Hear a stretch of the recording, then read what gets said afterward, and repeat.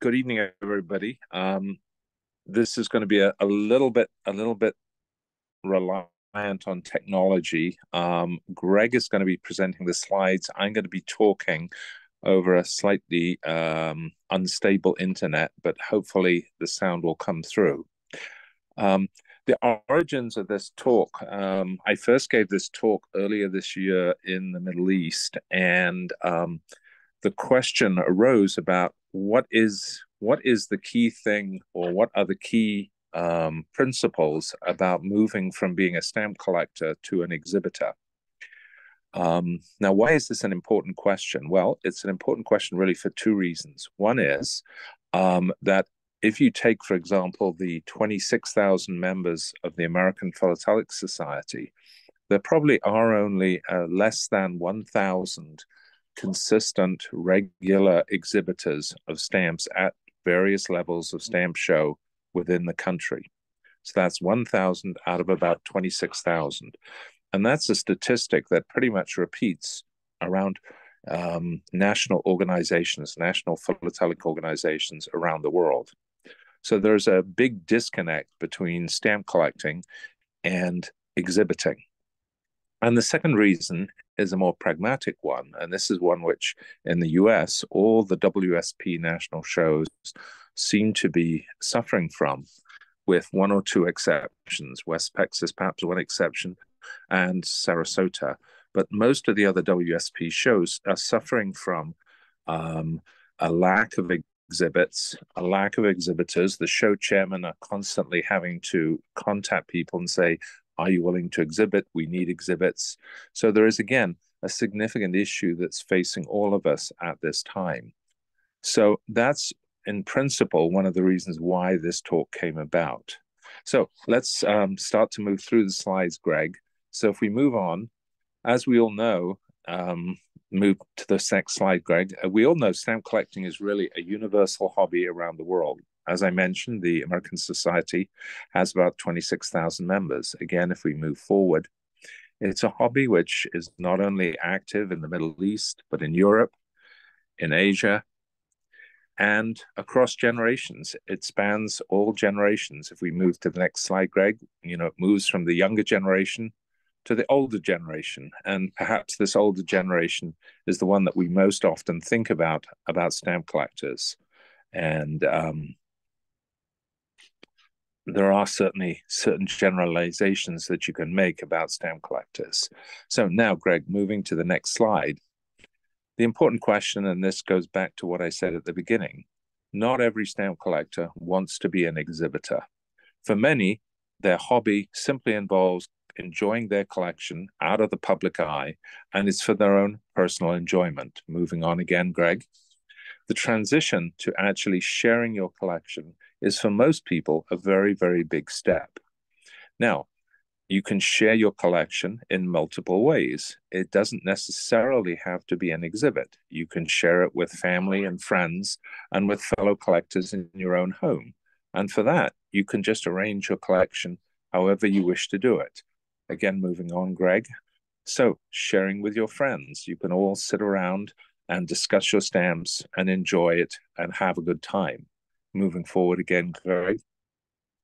Um, you can share it with your children. You can share it with youth groups. You can share it with other groups. And again, in none of these cases are we dealing with an exhibit in the sense that we all understand it. Moving on, Greg, to the next slide. So, what is the essential difference between a collection and an exhibit? Well, the collection can be arranged and organized however you want, whatever style, whatever arrangement you wish to use. You can put things in stock books, you can put them on pages, you can put them in shoe boxes, you can arrange your collection in whatever manner and style you wish. Moving on, Greg. Once we transition, moving on, Greg, once we transition to the concept of a stamp exhibit, the material has to be organized in line with the criteria of a particular exhibition.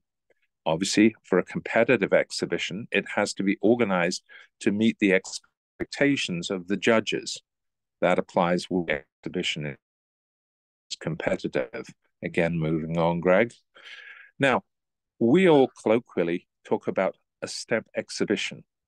Ideally, or in a perfect world, the term exhibition is a little bit misleading because, of course, most exhibitions are competitive, and except for a few invitational exhibits.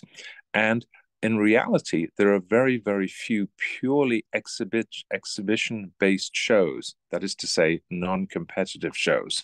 The vast majority are really stamp competitions, much like a sporting event would be. Now, moving on again, Greg, please.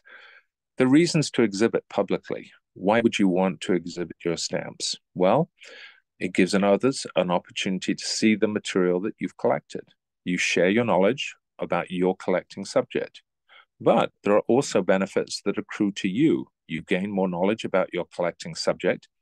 And for some, the competitive element to be the best is the key driving force.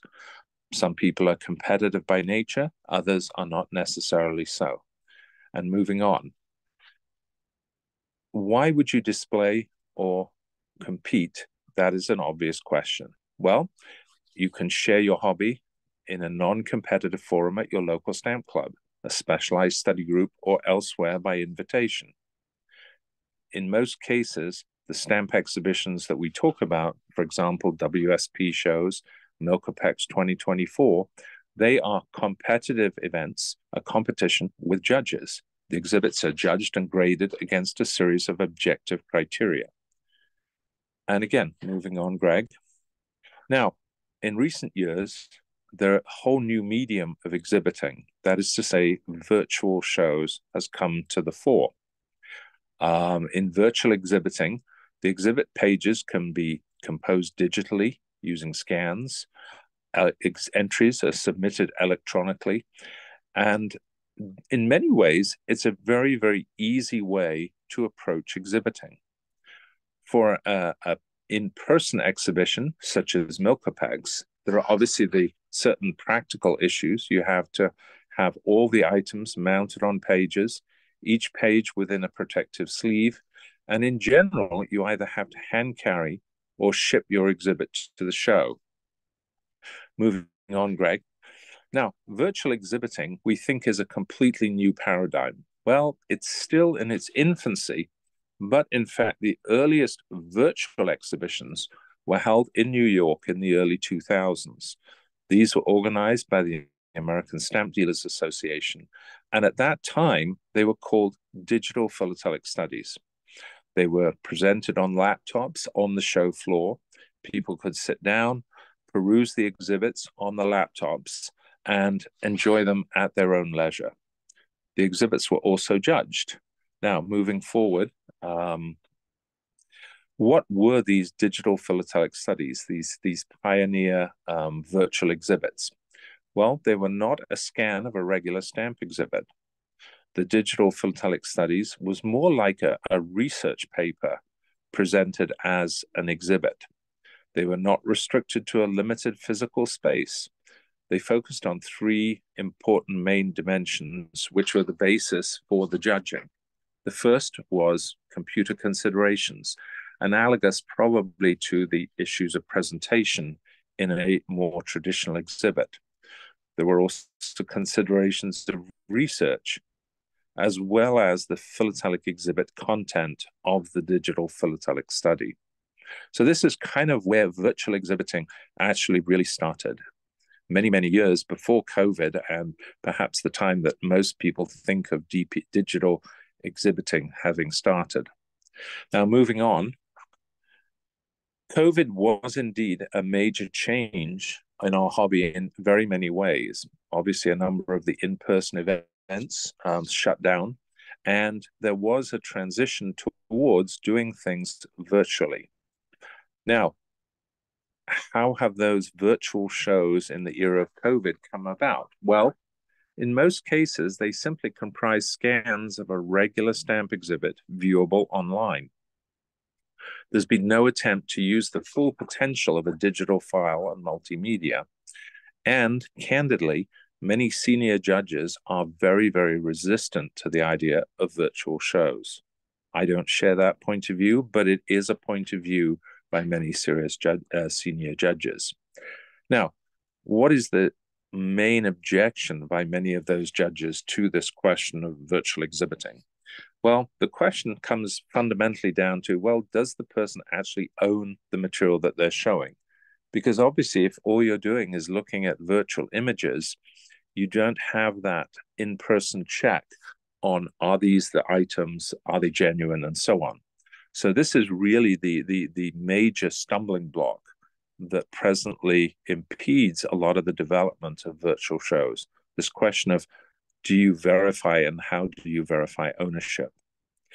Now, virtual exhibiting, moving on, Greg, virtual ownership has actually now spread very much around the world. Uh, the shows themselves are generally easy and very inexpensive to host. Um, interestingly, both Bangladesh and India have very much been in the forefront of these virtual exhibitions. There was a show in Bangladesh, Bangabandhu 2021, which was the first FIAP, the uh,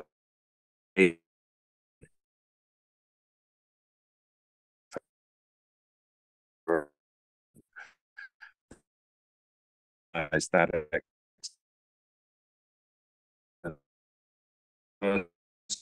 for recognition.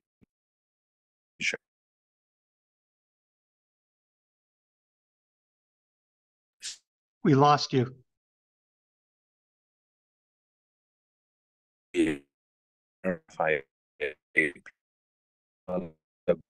See the shows.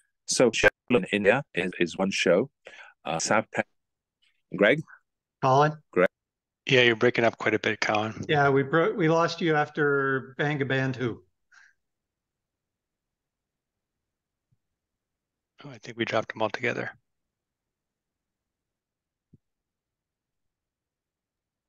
Well, Greg, it's all yours. I wish I knew. Um,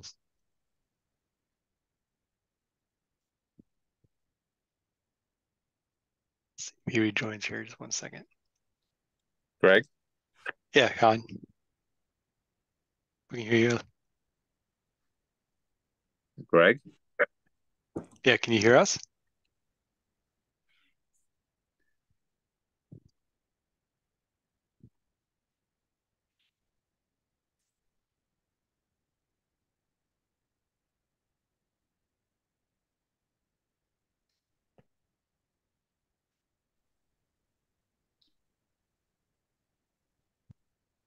Greg? Yep, we can hear you. Hello? You can hear me. Okay. Yes, um, Greg, can. if we can move to the next slide. Yep.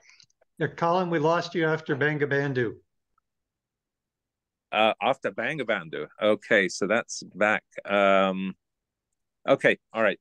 So, um, yeah, Bangabandhu 2021 was the first FIAP recognized international international exhibition. FIAP is the Asian equivalent to the Federation of Inter, Intercontinental Inter-American Philately, uh, the FIA, FIAF, um, which also organized a virtual show and which is shown on the, the slide here. Uh, Greg, if we move on to the next slide.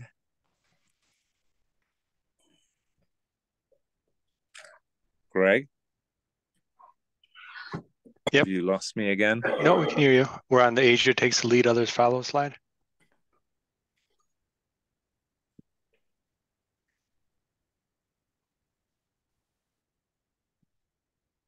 Okay, can you hear me? Yes. Yep. Greg? We can hear you.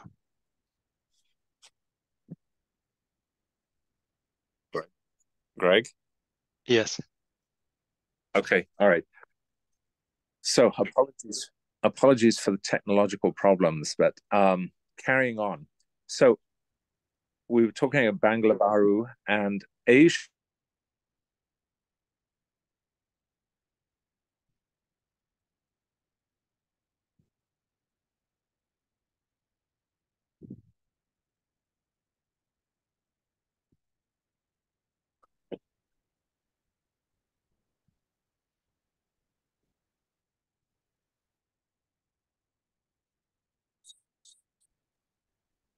We lost Greg? you again. Can you hear me?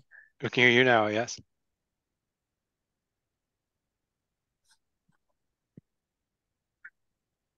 Okay, Greg, you can hear me? Okay. So very much Asia took a lead in terms of the virtual exhibiting. We had Philovirtu in India and other ex, ex, other exhibitions that have taken place around the world. SAVPEX in South Africa and the 2024 exhibition SAVPEX is actually just starting in the next month or so. We have ExpoNet, which is non-competitive, and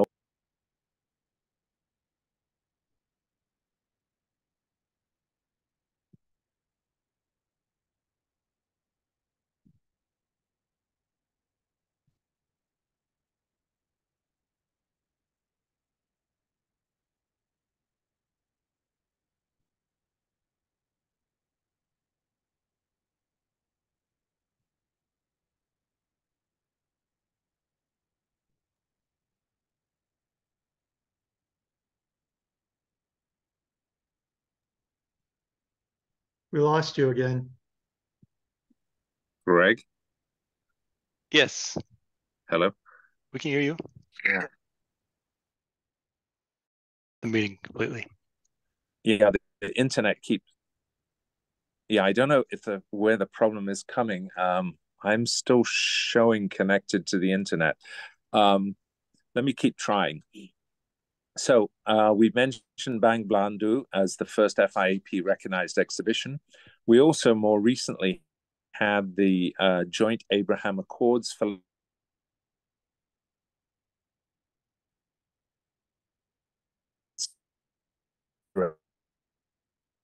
and uh,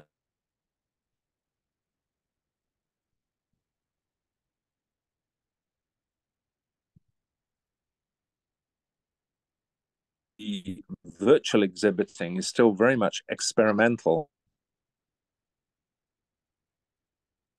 There's a long, long way for us to move forward with this idea of virtual exhibits. How now to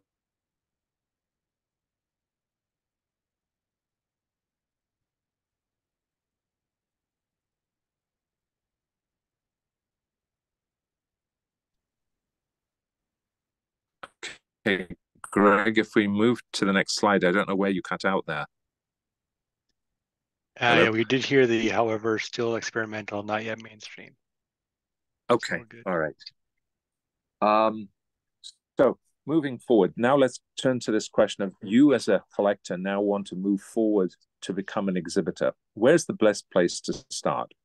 Well, my advice is that the best place to start is to attend as many exhibitions as possible, study the exhibits carefully, and get different ideas.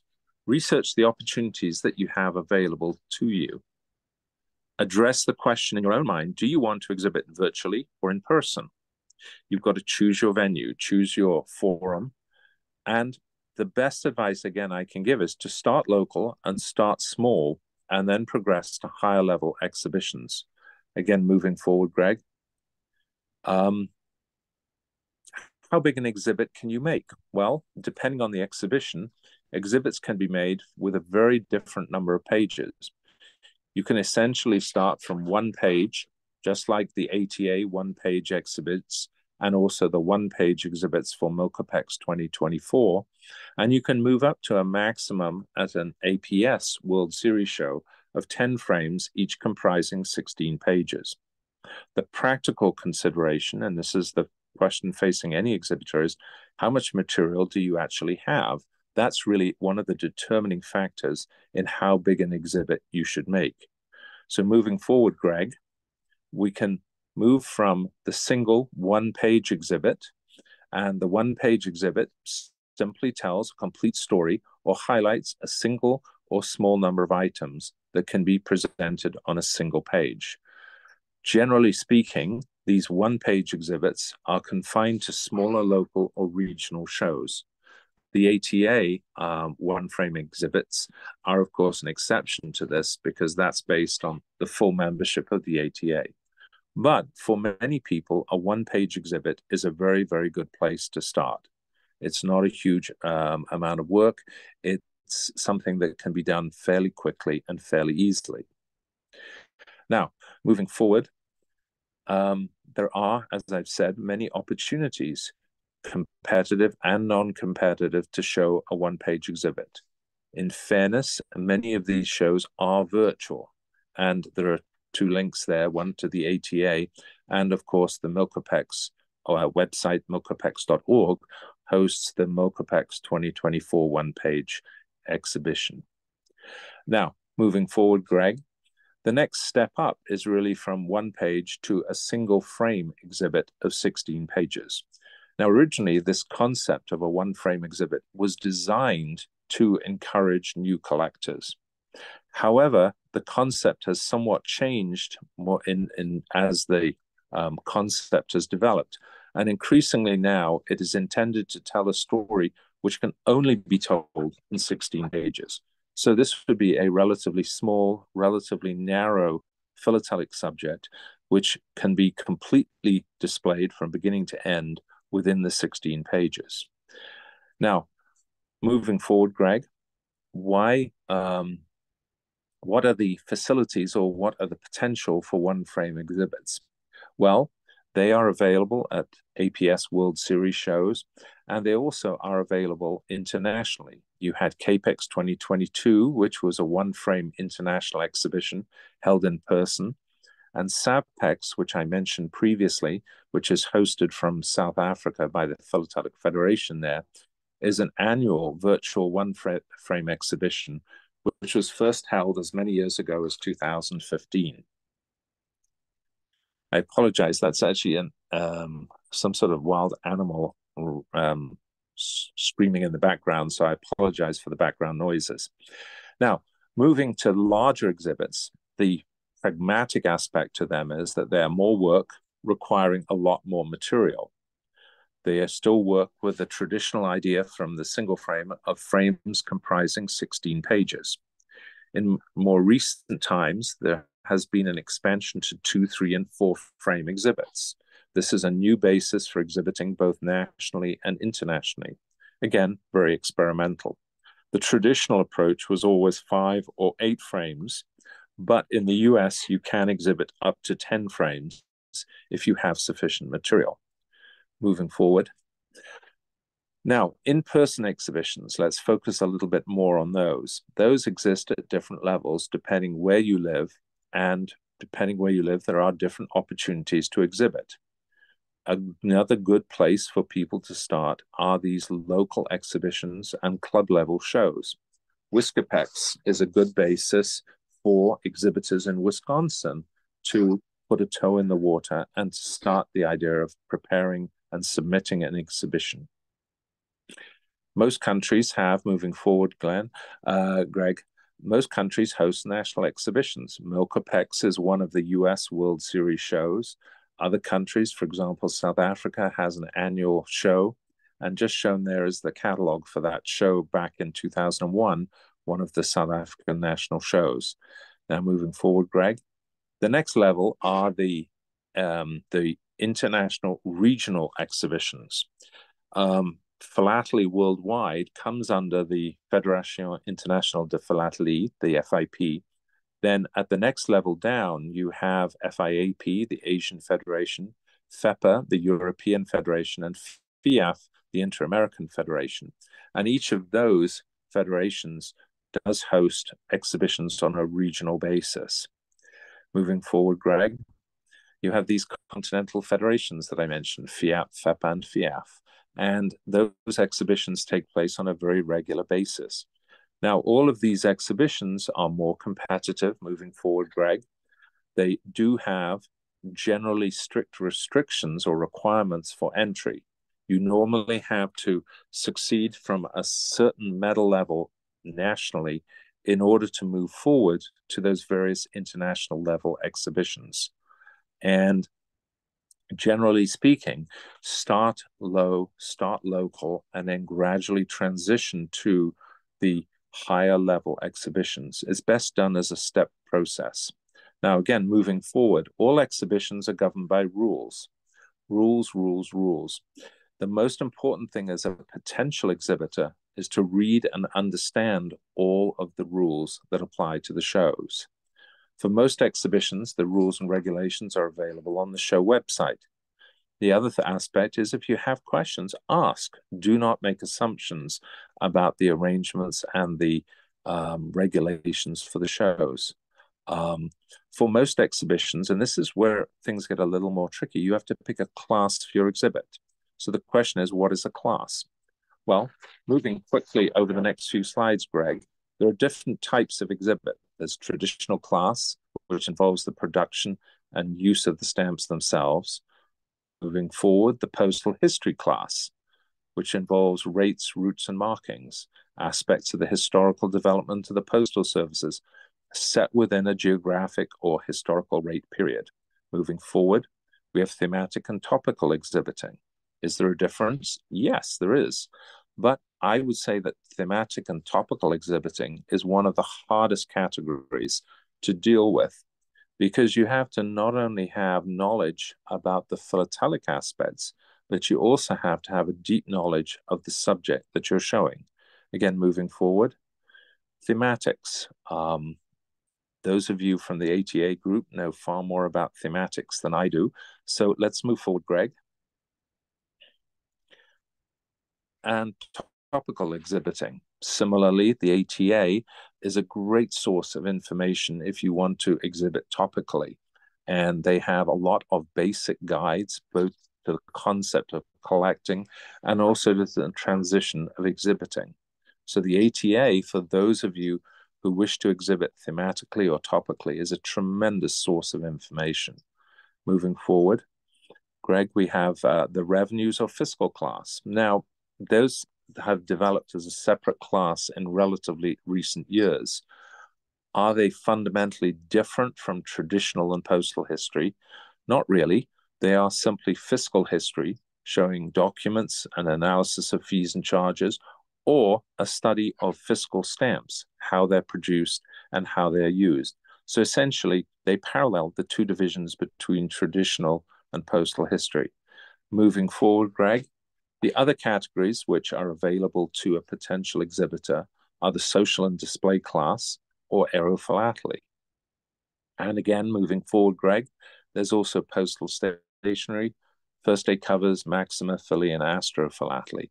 And again, a lot of details about each of these show classes are given on the uh, American Philatelic Society website under the judging information, where you'll find a copy of the judging manual now you say, why would I want to look at the judging manual? Well, it also contains a lot of information about exhibiting, and you'll find the details of the classes there. Now, the one advantage in the US is that for national shows, the WSP shows, there are essentially no classes anymore. The classes have largely been eliminated. And so you don't have this difficulty of saying, well, what is my exhibit? Is it really a traditional exhibit or is it really a revenue exhibit, or so on. But as you move forward to either the regional shows, the FIAP, FEPA, or FIAF shows, you have the question of picking the class for your exhibit. So initially, it's not an issue, but as you move forward, it is going to become a question that you have to address. Now, moving forward, Greg, again, another new area for study is picture postcards. Milcopex 2023 was focused around the theme of picture postcards, and there were some very, very strong postcard exhibits. And this is another growing area within our hobby. Initially, there was some resistance to the idea of embracing exhibits of picture postcards, but now I think there's a, a very strong and very healthy following for exhibiting picture postcards. Now, moving forward, Greg, how do you choose your topic? What aspects of your collection should you show? Well, pick an area of your collection that actually interests you more than others. Pick an area where you have sufficient interesting or scarcer material. And at the end of the day, the real question is having enough material to do an exhibit of the size and scope you've chosen. At the end of the day, material is key to your exhibit. So moving forward, Greg, the other aspect that is key to it is knowledge. Uh, exhibiting is a learning curve. Um, one of the key benefits to exhibiting is to increase your knowledge about the subject that you're exhibiting. So, literature is very important moving forward, Greg. Research and sources of information. in your presenting your exhibit, one of the key components that judges looking for is your knowledge of the subject that you're showing. So you need to expose yourself to literature, you need to read, you need to study, you need to potentially acquire the books that are going to be most helpful for the topic that you're showing moving forward, Greg. Now, let's think about composing an exhibit. Generally, you will only exhibit part of your collection. There will be your collection, and then drawn from your collection will be your exhibit. So you need a clear idea of the subject and how best to develop the concept according to the exhibit class that you've chosen. You need a title page, and that needs a clear statement of purpose and scope, preferably in the first sentence. And the exhibit itself should comprise all the relevant material with supporting content and text. For a postcard exhibit, the most important thing to remember is you're showing the postcard side. So again, moving forward, judging. Now I mentioned that judging is um, uh, an essential component to most of our stamp exhibitions. I mentioned there are very, very few which are purely uh, non-competitive. So most exhibitions use a variation of the same form of judging, the same judging form, and the different point categories. And again, you'll find a copy of the judging sheet on the APS website, and that's available to everybody. You just go to the website, go to the, the pull down menu, and you can pull up a copy of the judging form. This again will give you a good insight to some of the categories and some of the things that you need to develop in your exhibit. You take the different judging criteria, treatment, moving forward, Greg, importance, knowledge, research, and study. And all of those categories are reflected on that form. And you can see how the points are allocated within those different categories. And that's something that's best you study at home, at your leisure. And again, if you have questions about those different categories, treatment, importance, and so on, talk to a judge talk to somebody who's been a successful exhibitor. Most times they're willing and able to help you and to explain what all the different terms mean and how those different categories are assessed. Now, again, a really important thing to remember is that an exhibit is not a book.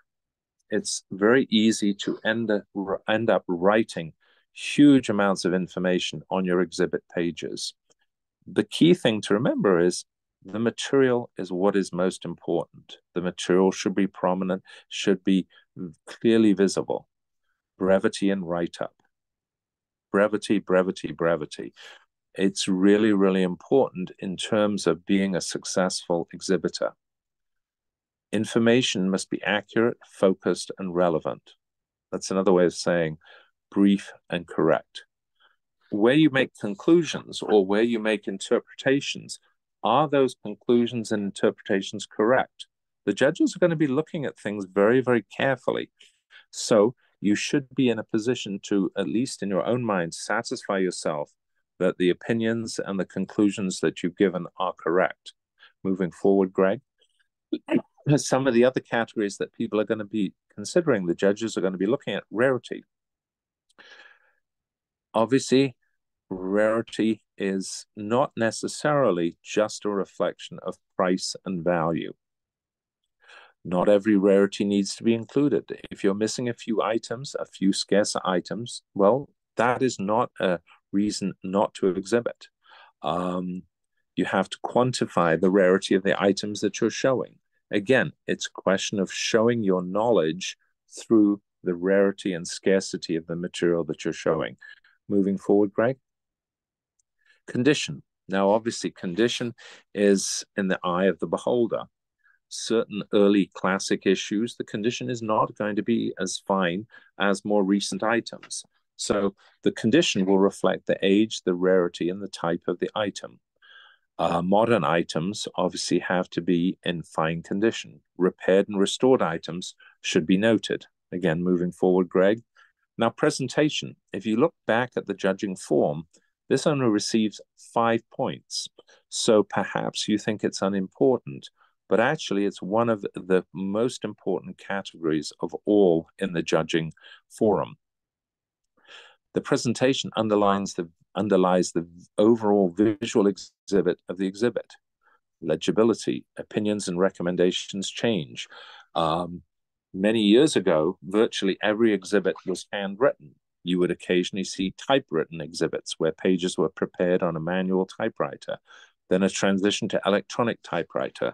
Today, virtually every exhibit is prepared on a computer.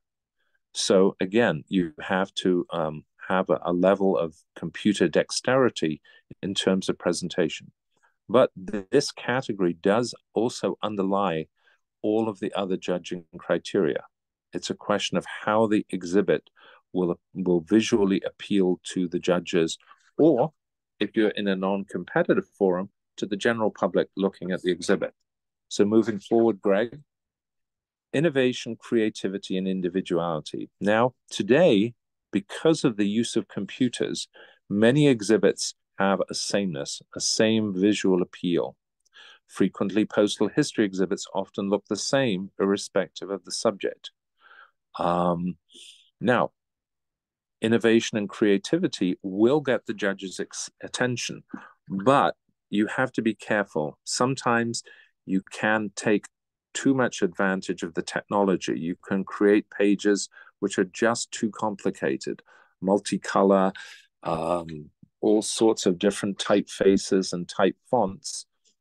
Innovation, creativity should be done carefully. They should be carefully crafted and should generally be done in moderation. But it's not to say that they are not a not a good idea. Now, judges themselves also make certain assumptions. Um, they will, generally speaking, suggest that the primary focus of every exhibitor is to win and that they want to be told how to get a higher award. It's not necessarily the case.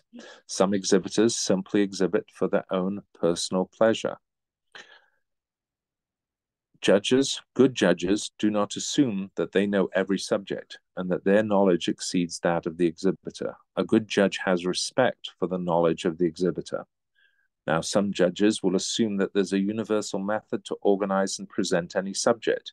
But again, a good judge will be willing and, and broad minded enough to assess any new method or any new ideas in presenting an exhibit. But in terms of judging, the key thing is a judge will prepare ahead of time. They will look into previous exhibits of the subject. They'll research some of the literature, and generally, they will have done a lot of homework on your subject. And that again feeds back to the point of making sure that the information on your pages is accurate and correct. Now, moving forward, uh, Greg, the title page, the title, and the plan. These are again all very, very important aspects of preparing an exhibit. They're in fact probably the page the, the title page will be one of the pages that you will spend most time preparing. Do a draft. Um, you will go through multiple ver- multiple versions of your title page. Similarly, you will go through multiple versions of your synopsis page. Um, each and every stage of the way, you will be making changes. And before you submit your final title pages and synopsis, you need to look back and very carefully assess whether they correspond accurately with the exhibit that you finally prepared. Moving forward, Greg, the synopsis. Now, what is the synopsis? Well, it is basically your opportunity to promote your exhibit to the judges. Uh, it's the, the the one page where you can really blow your own trumpet and and and in a sense sell your exhibit to the judges. Now, obviously, they will be basing their assessment on the material shown in the frames, if it's an in person show, or virtually, uh, if it's a virtual show. But in the synopsis, you can give the judges a lot more information about the overall scope and content of the exhibit than you might do on individual pages. So, your synopsis is a very, very key component to preparing an exhibit. Moving forward, Greg. Now, points and medals. This chart just, um, we don't need to go through in any detail, but this just summarizes how the different medals correspond with the APS point range. Now, one of the interesting aspects of recent years judging is that more and more exhibits are getting uh, large gold, gold, and large vermeil medals. However, you should not be uh, should not feel disappointed if you get a silver, a silver bronze, or a bronze medal um, they are still um, key uh, successes in the exhibiting forum. And many subjects, it's hard to get a large gold. Um, so that should not be a disincentive to you in terms of preparing an exhibit. So moving forward, Greg, a few last minute thoughts on exhibiting. Um, don't be disappointed. Don't be discouraged. If the first time out you get a silver bronze medal or a silver medal, do not be discouraged. No exhibit is perfect the first time out. Exhibits can always be improved upon. And not all judges or individual juries will agree as to the appropriate award. You may, in fact, find that one show you receive a large vermeil, another show you receive a large silver. There will be a degree of variation in show results. Not too many, one hopes, but there may from time to time be significant variations. Now, what are the limiting factors to an exhibit? Well, the potential of an exhibit is mostly limited by the depth, scope, and challenge of the subject and the range and completeness of the material that you have. As you add material to your collection, so you will fill out and expand upon your collection. The key thing is don't be disappointed or discouraged by the results that you get either at one show or at a series of shows.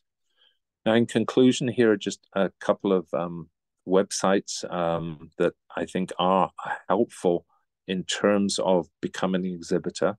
The AAPE, the American Association of Philatelic Exhibitors website, has a lot of information available the APS Judging Manual, which is available on the APS website, stamps.org, is incredibly helpful.